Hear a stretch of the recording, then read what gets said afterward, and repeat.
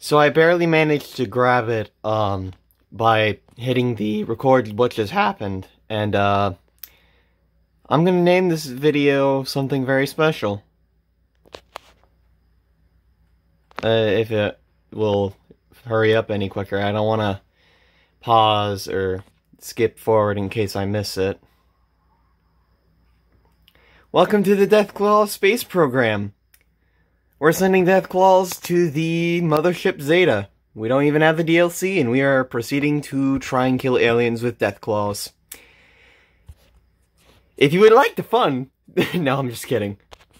Me about to make a, a crappy joke about funding a project that isn't even real.